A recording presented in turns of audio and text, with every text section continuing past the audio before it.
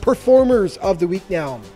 Brought to you by Warrior, the official hard goods supplier to the OJHL, and your keeper is Jacob Gorinsky of the St. Michael's Buzzers. He was a brick wall, two wins, uh, including a shutout last week as the uh, Buzzers continue to try to catch North York for first place. And the super rookie Easton Wainwright, your skater of the week, uh, the 16 year old from the Brantford 99ers, just incredible. Five goals, two assists last week for Easton, who's joining the Sarnia Sting next season and leads the OJ with 27 goals this season.